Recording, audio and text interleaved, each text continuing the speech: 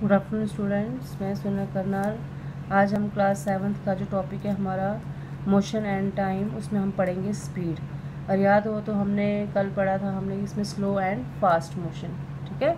तो आज हम पढ़ेंगे इसमें स्पीड तो क्या है इसमें? The distance travelled by an object per unit time is known as speed of the object क्या बच्चों? क्या है? The distance travelled by an object per unit time either in one hour in one minute और in one second जब हम क्या करते हैं, एक जो ऑब्जेक्ट है, वो डिस्टेंस को ट्रेवल करता है।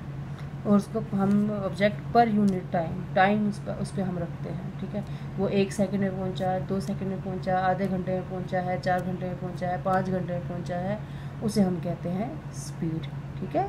क्या है? The distance travelled by an object per unit time हम, उसका हम टाइम देखते हैं कि कितनी देर में वो बन, कितनी देर में वो पहुँचा है, उसे हम कहेंगे speed a slow moving object is set to have a low speed and a fast moving object is set to have a high speed ठीक है? जब low speed slow moving object is set to low जब मैंने, हमने कल पढ़ा था कि कोई चीज़ जो है, कोई ऑब्जेक्ट है, वो स्लो मूव कर रहा है, उसे हम कहेंगे लो ऑब्जेक्ट और जब कोई ऑब्जेक्ट है, वो फास्ट मूव कर रहा है, उसे हम कहेंगे हाई स्पीड ठीक है?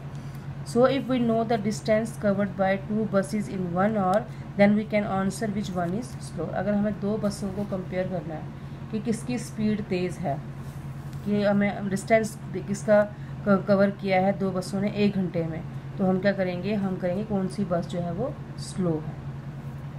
For the formula for calculating the speed of an object can be given by speed का फार्मूला क्या है?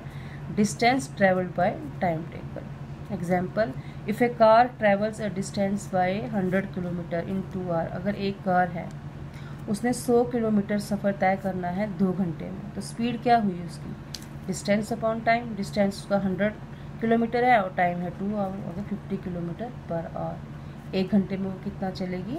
पचास किलोमीटर पर आवर ठीक है बच्चों? ये है स्पीड तो हम भी कहीं कभी चलते हैं तो हम कभी तेज़ तेज़ तेज़ चलते हम बोलते हैं, हमें अगर 45 मिनट्स में हमें स्कूल पहुँचना है तो हम उसी के अकॉर्डिंग हम स्पीड पकड़ते हैं अपनी। ठीक है? तो ये है स्पीड का फार्मूला हो गया डिस्टेंस ट्रेवल्ड बाय टाइम ठीक है? तो बच्चों प्लीज़ आप इसको पढ़ लीजिएगा। Thank you